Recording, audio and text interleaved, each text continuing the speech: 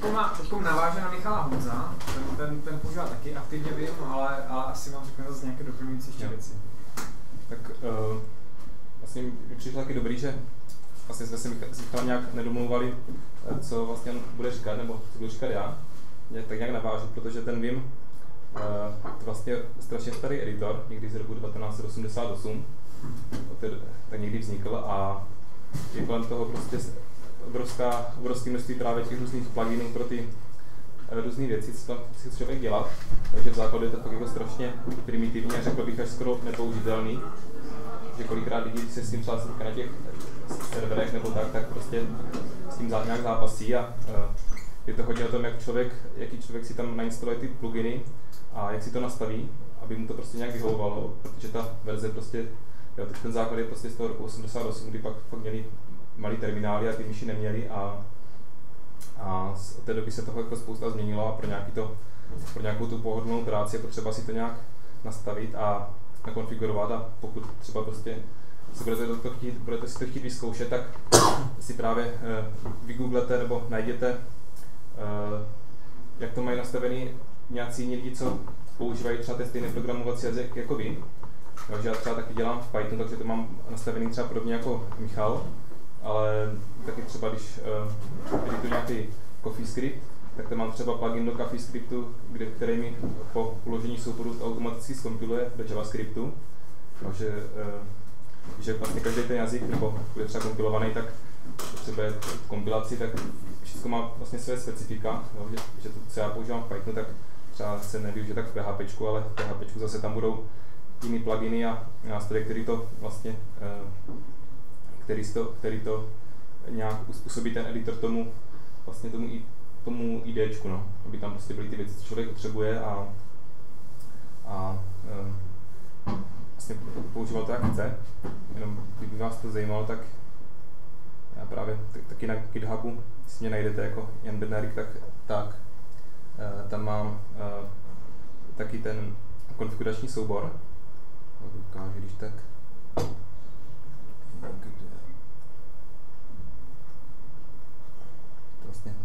Adresářem Bednarik Normal Config a tady vím, vím RC, což je vlastně vím RC, takový ten, ta konfigurace toho VIMu eh, pro ty, eh, pro nějaký to použití. Ty mám prostě nastavený, jaký používám toho pluginy, které si automaticky nainstalují, kdy prostě potom nějaké nastavení toho editoru od nějakých prostě, eh, jak se má třeba to GUI chovat, nebo potom jak se má chovat nějaká třeba vyhledávání těch souborech, nebo prostě jak se má chovat tabulátor, že má nahrazovat mezery a podobně, případně nějaké nastavení pluginu, takže uh, je dobrý prostě vždycky si najít nějaký ty, uh, vím RCčka, prostě těch lidí, co dělají uh, v tom v tom jazyku, co děláte vy a podle toho si to třeba jako nějak nastavit, nekonfigurovat, ať to prostě splně nějaký ty požadavky, co toho máte. A, uh, a když začnu, tak uh, bod, bo ještě řeknu, s tím Michal říkal vlastně, proč začal, že s tím vím, že nechtěl používat myš.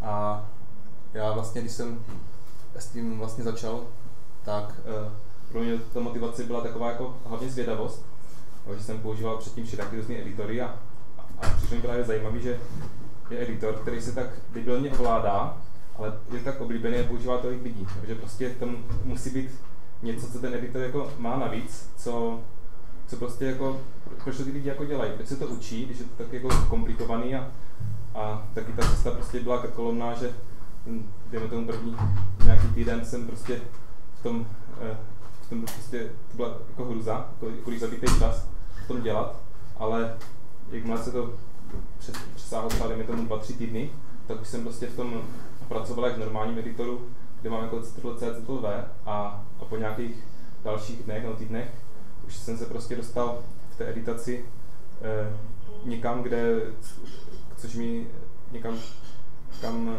kde, kde mi prostě ty, ty možnosti, ty standardní editory, které mi, dejme tomu to Ctrl-C, Ctrl-V eh, prostě neumožňují. A takže jsem to jako potom časem, eh, vlastně ten čas strávený tím učením eh, jsem jako ocenil že teďka prostě eh, bych eh, ne, jako nedělal v ničem jiným, protože to, je to je to o tom, že jakmile se ty zkratky na to vládání používání dostanou do nějaké té svalové paměti, tak fakt prostě nemusím přemýšlet o tom, jako, co mám zmáčknout, aby něco udělal. A velmi jako přirozeně hladce se pohybuju v tom kódu, edituju ty věci a něco z toho vám ukážu. Uh, třeba typicky, uh, si ten Vim otevřu, si vlezu do nějakého projektu, já třeba používám tady MacVim, vlastně GUIčkovou verzi, že ona je ta verze do terminálu, jenom si pustíte v terminálu Vim, ale ona má, ona je tak, když omezená možnost má terminálu, což jako, uh, což vlastně není tam taková ta integrace třeba s tou schránkou uh, toho prostředí a nějaké další věci, takže... Barvy jsou tam omezené. Barvy jsou tam omezené a tak, takže rozhodně pokud budete jako Vim používat nějak víc, tak si použijte GUIčkovou verzi, což je GVim na Windowsy a, nebo Linux, nebo MacVim vlastně na Mac. Ale já ho mám vlastně stejně nastavený tak, že, že nemám tam nahoře žádný menu, žádný, tab, žádný scrollbary okolo a tak. Mám to v takovém režimu, nevím, jestli někdo třeba píšete knížky nebo tak, nebo něco vlastně editory pro spisovatele, který vypadají přesně takhle, že vy vlastně, když píšete, tak jediný, co vidíte, je vlastně ten text, nebo ten text a okolo to máte jako čistý, aby vás to vlastně nerušilo. Takže stejně většinu času já, když programuju, tak potřebuji sledovat ten kód a dělat něco s tím kódem a nějaký menu nahoře, nebo vlevo, nebo vpravo, to je rušivý element. Takže já to mám prostě úplně okleštěný eh, vlastně všechny tyhle věci a většinou to valím v režimu, že mám minimálně jako otevřený dva soubory na jedné stránce, nebo jako vedle sebe, že ty mám třeba, jak měl Michal ten Ctrl P, tak používám nějaký Command T, asi podobný plugin, a kde vlastně se jenom přes, přes názvy souboru, eh, že píšu vlastně dole něco, co, co obsahuje ta cesta a dostanu se velmi rychle eh, na ten soubor že vůbec nepoužívám nějaký takový nebo nerd tree nebo stromový procházení, jo, že prostě většinou vím, který soubor hledám, takže si ho najdu eh, jednoduše a většinou to mám takhle v režimu, že mám vlevo třeba něco, co nějakou implementaci, jako ty třídy a vpravo jsou prostě testama, že většinou jako dělám eh, test driven development, takže prostě na, na jednom píšu testy, v druhém edituju, tady ještě to je takový, že to má malé rozlišení, ale když ty zmenším písmo, pokud si to představíte na, na větším monitoru, tak normálně to vidím zhruba takhle.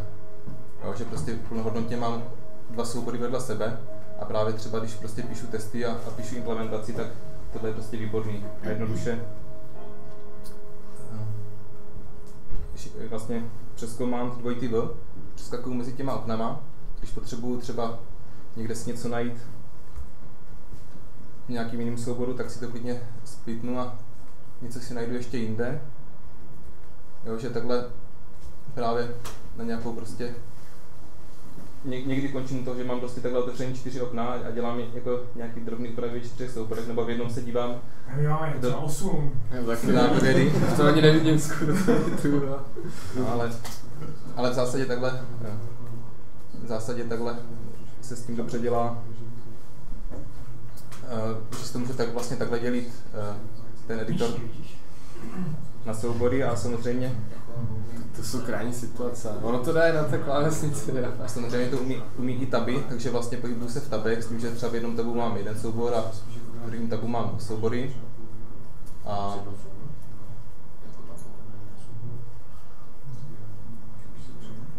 když se třeba mrkne na tu Eh, na tu editaci, že vlastně ten Beam je nejsilnější v tom, jak eh, vám umožňuje editovat ten text. Jo, že určitě všichni znáte Ctrl-C, Ctrl-V, Ctrl-X. A, ale ten Beam eh, je o tom, že vám umožní tisíc dalších jako věcí, že třeba tady, kdybych chtěl třeba tady tu tady skáču, chci třeba přejmenovat tady tu metodu, tady to celé slovo, tak místo toho, abych nějakou jako mazal nebo tak, tak dám třeba C jako přepsat a dvojitý V jako slovo. Takže change. change jako slovo a on mi to vlastně nahradí a můžu to jako přepsat, nebo když budu chtít tady třeba změnit celý řádek, dám CC a on mi dá změnu celého řádku. Nebo tady třeba bych chtěl uh, to změnit jenom odsud, odtud do konce, no, třeba tady tu, tak volám velký C a on to katne do konce a hned jsem v editační módu něco tam napsat. Ale v rámci těch jednotlivých, eh, v rámci něčeho uzavřeného, třeba buď to závorek nebo e, těch apostrofů a tak, tak se dá dělat úplně to sama. Change in, in. Jako třeba change, nebo typicky se na nějakým slově a chci k němu něco dopsat, tak uh, tak Ečkem se dostanu na konec slova, Bčkem na začátek, nebo před dvojitý V skáču jako po slovech, no, že prostě tady budu chtít něco změnit. Třeba v tom přejmenovat to write file, tak dvojitým Včkem si naskáču na to, dám change word a přepíšu to. A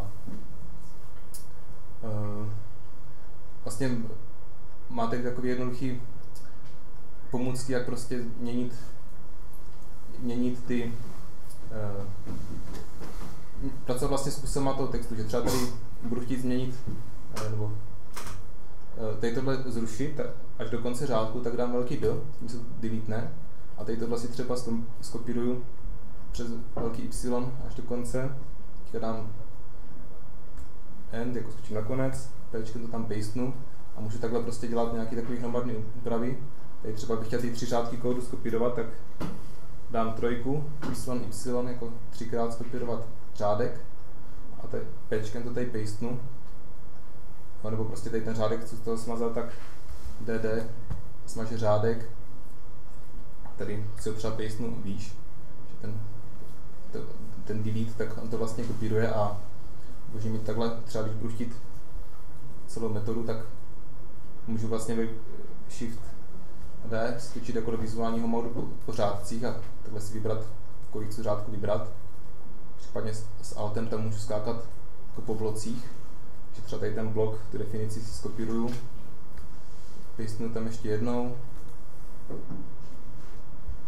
nějak to pojmenuju a přepíšu dokumentaci, připíšu třeba tedy nějakou implementaci a jako s pomocí takových jako jednoduchých logických uh, zkratek, takže třeba y je kopírovat, dvojitivu je slovo, tak třeba skopíruju slovo. No to je právě ono, že tam je taková jako logika, tam je nějaká gramatika, která platí jako obecně pro více no. možností. Když, když se naučím používat třeba, já nevím, kopírování, tak to třeba Y začíná jako ten nějaký Young, že? No. nebo tak nějak. Young a zatím jsou nějaké, nějaké písmenka, které řeknou, jak já třeba skopíruju žádek, skopíruju slovo. Ale ono to pak funguje úplně stejně, když nepoužiju jako první písmenko Y, ale C jako change, tak potom můžu použít to, co jsem se naučil úplně stejně, jako change V jako slovo, change, jako nevím, jak je ten řádek, ale prostě to, co se jednou naučíte, tak, tak to potom platí i v jiných kontextech, stačí jenom pochopit uh, tu gramatiku, se kterou ten Vim přišel. A to, to třeba jsem nevěděl, jako já jsem na to přišel až později, nebo nějak prostě si četl ty, ty helpy. A to je takhle pěkné, že jednou naučená věc potom je jakoby znovu použitelná i v jiných režimech. No, ale to fakt, jako fakt doporučuju toho Vim tutora, protože za nějakých 20 minut, půl hodiny, jak oni udávají, tak já jsem to měl snad ještě dřív. Vlastně za 15 minut si projdete celý ten soubor, ono vás to navede, jak se vlastně ten Vim ovládá. A i když to teď vypadá jako šíleně, že pomocí nějakých písmenek tam se dělají změny a něco se kopíruje a tak a vypadá to strašně chaoticky. Tak fakt za těch 15-20 minut vám to dá nějakým způsobem, vám to ukáže, jak se s tím dá pracovat a potom fakt není to nic hrozného, není to žádné velké peklo. A potom krom toho, že vlastně, říkal Michal, je tam nějaká taková jako syntaxe, že třeba Y se kopíruje, třeba YV je kopíruje slovo, YY kopíruje řádek, třeba velký Y mám, že kopíruju odsaď až vlastně do konce řádku, nebo toho místa, kde jsem, tak vlastně tak můžu mít jako třeba D, tím dělám delete, DD slova, DD řádku, nebo velký do je od kurzoru do konce řádku. Takže je v tom nějaká taková logika a potom funguje to, že chci třeba tady jsem vzal čtyři řádky, tak místo abych jako čtyři, čtyřikrát mačkal DD, tak si dám čtyřku a DD a on vlastně čtyřikrát provede ten, ten příkaz. A že prostě chci tady skopírovat třeba tady tu metodu, tak je kopírování nějakých sedmi řádků, tak dám 7y, y, mám to skopírovaný a pastenu to. Jak se nedá 7? Už to mám jako nakopírovaný. Uh, jako tak uh, prostě jednoduše. Nebo třeba budu chtít skočit jsem třeba na začátku souboru a vím, že mám chybu na řádku třeba 150, tak dám 150 a jako šipka dolů a, a mám krátký soubor, ale třeba skočím na, že, dám třeba jako 70 krát šipka dolů, tak mě to skočí 80 řádků níž. Takže e, takový, vlastně takový intuitivní, že se naučíte tam používat potom ty čísla, nebo kolikrát chcete něco udělat a on to udělá. A právě na nějaké takové kopírování a editaci toho textu je to šikovný. A co je tam hodně dobrý je, že vlastně tam máte, že klasicky máte C3C, C3V jako jednu, jednu schránku v Windowsech a nebo v prostředí a v tom Vimu vlastně na každém písmenku máte samostatnou schránku, že já třeba často, často tady píšu nějaký nějaký slovo JSON file, tak si ho třeba do schránky je, si dám vlastně, uh, ano tady vpravo dole, tam vidíte vlastně vždycky ten příkaz, co píšete, tak dám úzovky nahoře, teďka Jčko a Y, jako kopírovat a dvojitivé slovo. A teďka ve schránce je, mám to, mám to slovo, takže když dám zase uh, ty úvozovky, Jčko a teďka P jako paste, tak pastnu to slovo takže prostě můžu takhle, když mám nějaké takové věci, co často opakuju, typicky třeba prostě, když edituju HTML, tak prostě HTML taky, co nebo kusy kódu, který někde jako často používám, tak mám takhle naházený do schránek a můžu to jednoduše pastovat, kde chci, kde chci a, a je to velmi šikovná věc. A Potom, co tam třeba funguje výborně, jsou nějaký uh, makra, že stejně tak jako můžu mít na každém písmenku, uh, na každém písmenku jako schránku, tak tam můžu mít i makro. Třeba budu chtít dělat nějakou, nějakou věc, třeba tady těch, nějak přeformátovat si ten, ty komentáře, tak, uh, tak zapnu kvéčkem zapnu nahrávání, čím dám F jako find, a najdu účko. Se mi přehodilo.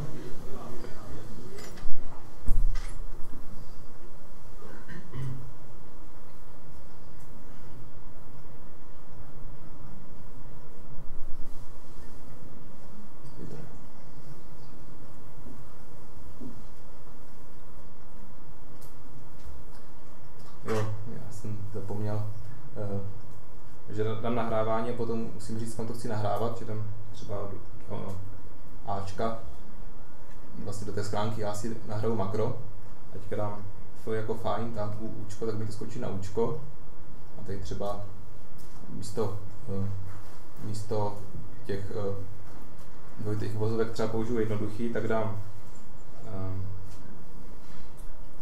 tak Kde je jak se říká? D. Třeba tak a zruším to makro a zruším to nahrávání a teďka přes eh, zavináč A to vlastně spustím. spustím.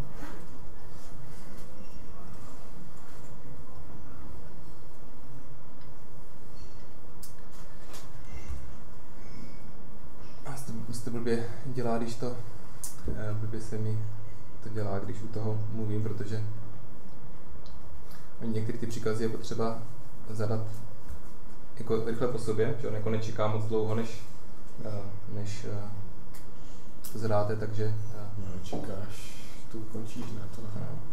No, ale některé jsou časově. Některé jsou. Nějaký, nějakou dobu. Jo, třeba Janková. Já už teďka tam mám nahrávý to makro, co přes zavináč, zavináč a to spustím.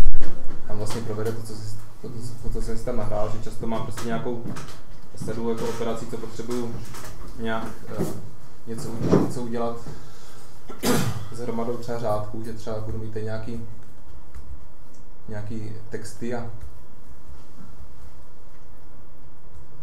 budu to chtít naformátovat do nějakého jako, do nějakého pole, tak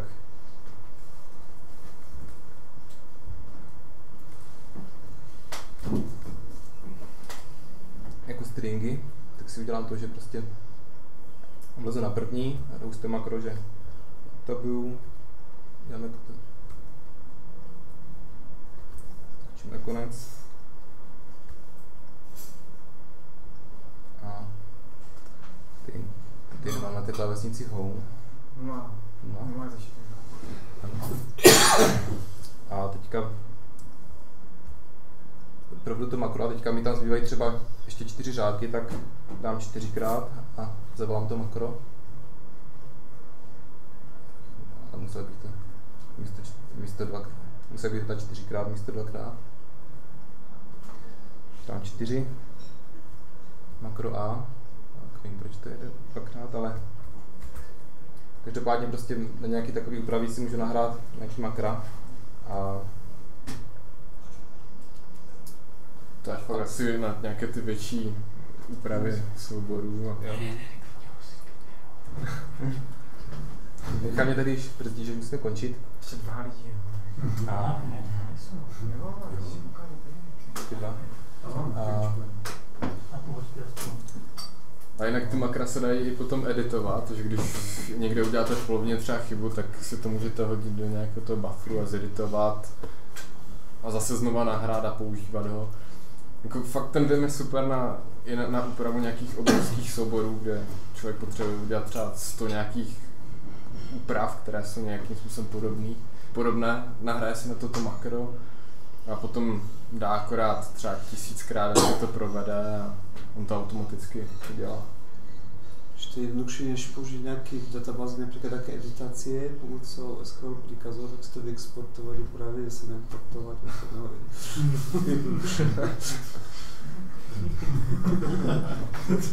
Tak to trochu hardcore.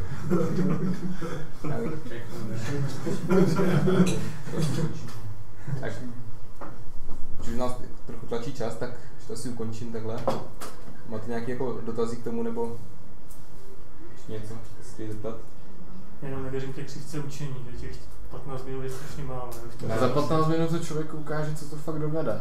Ale jako jasné, je tomu člověk, jak jsem říkal, jako fakt...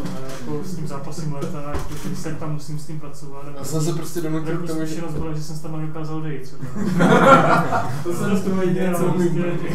Ne, já jsem se prostě donutil k tomu, že to budu používat. No.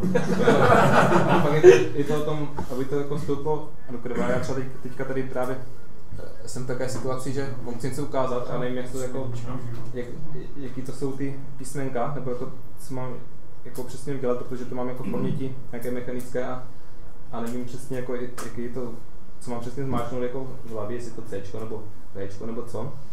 A, a, a jsem třeba tak, často v takové situaci, že velmi rychle se dostanu třeba tam, kde chci něco udělat, ale ještě vlastně nevím, co tam chci udělat, jo, že ta efektivita už... Jsi o krok popředu.